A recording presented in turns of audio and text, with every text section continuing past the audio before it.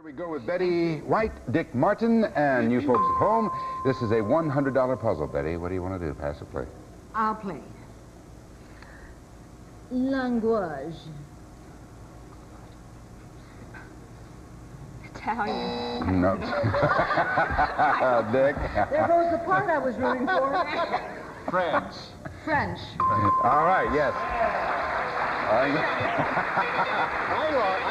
just a second. That's not. Kathy, I am sorry. We cannot give you credit for that because, Dick, you gave an illegal clue. You cannot say France for French.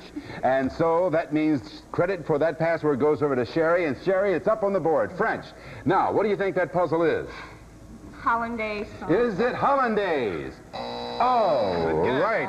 Okay. France. Okay, Betty and Dick, look at this one. All right, Betty, you going to pass or play? Oh, I'll play. Okay.